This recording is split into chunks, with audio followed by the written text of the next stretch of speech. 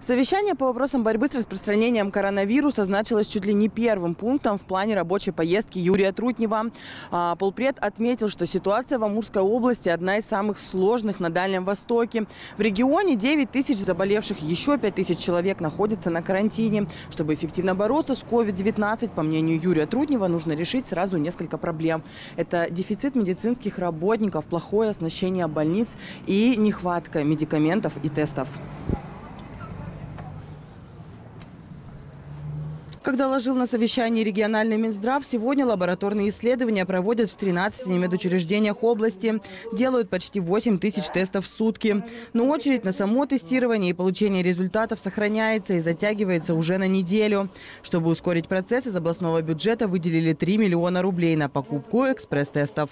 Мы приобрели сейчас экспресс-тесты, они уже находятся в Благовещенске. Эти тесты можно применять по согласованию с Роспотребнадзором для тех э, людей, кто выписывается уже, идет справка о выздоровлении. Вот эти тесты можно будет тоже э, использовать. Надеюсь, что это значительно сократит очередь по вот, ожидания по этим тестам. Еще одна серьезная проблема, с которой столкнулся регион. Дефицит врачей в инфекционных госпиталях превышает 65%. Не хватает и среднего медперсонала. Помогают работать с больными COVID-19 специально сформированные бригады скорой помощи. Всего их 76.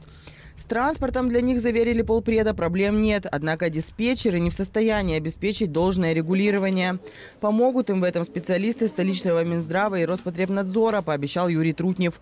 Решать нужно и вопрос с оснащением местных больниц. Достаточно большое количество компьютерных томографов сегодня пришло в неисправное состояние, нагрузка на них большая. Вот все эти э, недостатки надо устранять для того, чтобы э, меньше людей болело, чтобы люди быстрее выздоравливали и были уверены в э, оказании качественной медицинской помощи. С этим по поручению Юрия Трутнева поможет Минпромторг. В ближайшее время в регион должны поставить дополнительные компьютерные томографы. Кристина Слепцова, Дмитрий Тарасов. Программа «Город».